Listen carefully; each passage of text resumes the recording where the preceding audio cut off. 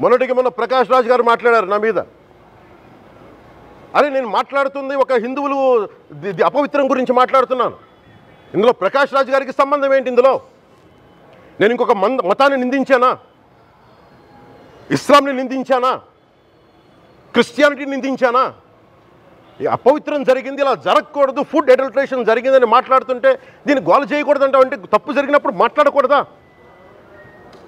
ఒక అపవిత్రం జరిగితే మాట్లాడకూడదా? దేవతా విగ్రహాలను శిరచ్ఛేదం చేస్తే మాట్లాడకూడదా? ఏం ఏం పిచ్చి పట్టింది ఒక్కొక్కళ్ళకి? ఎవరి కోసం మాట్లాడుతున్నారు మీరు? ప్రకాష్ రాజ్ కూడా చెప్తా ఉన్నాను. నాకు మీరంటే గౌరవం. I have extreme respect for you కానీ when it comes to secularism Prakash Raj గారు it is a two way not one way I have extreme respect for you you know that మీరు secularism is always two way it is not one way హిందువుల మీద దాడి జరిగినప్పుడల్లా వచ్చి మాట్లాడటం తప్ప అన్య మతాల మీద జరిగితే నేను ఇన్ని నేను కూర్చొని ఇంతమంది కౌలు రైతులకు ఇచ్చాను ఎంతమంది ముస్లిం ఇస్లాం రైతాంగానికి ఇచ్చాను నేను. ఇదే ఎన్ని మద్రాసాలకి డబ్బులు ఇచ్చాను నేను. పాతిక లక్షలు ముప్పై లక్షలు ఇచ్చాను నేను ఇచ్చినవాడిని నేను. నాకు అన్యమతం ఇస్లాం మీద గౌరవం ఉన్నవాడిని. క్రిస్టియానిటీ మీద గౌరవం ఉన్నవాడిని.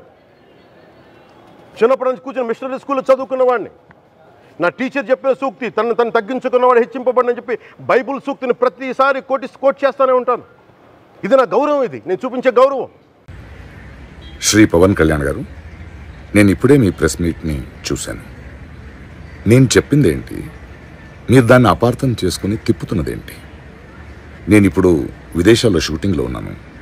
ముప్పయో తారీఖు తర్వాత వచ్చి మీ ప్రతి మాటకి సమాధానం చెప్తాను. ఈ మధ్య మీకు వీలైతే నా ట్వీట్ని మళ్ళీ చదవండి అర్థం చేసుకోండి. ప్లీజ్. ఇప్పుడు ఆపరేషన్ లేకుండానే మొక్కలకు ప్లాస్మా ట్రీట్మెంట్. మీ ఆర్థోపెటిక్ సమస్యలన్నిటికీ రోబోటిక్ టెక్నాలజీ ద్వారా తక్కువ ఖర్చుతో శాశ్వత పరిష్కారం. Free consultation. ప్రతి ట్రీట్మెంట్ పై ట్వంటీ పర్సెంట్ డిస్కౌంట్. ఈ ఆఫర్ కొద్ది రోజులు మాత్రమే త్వరపడండి. V nine hospitals nine two eight one four six five eight four two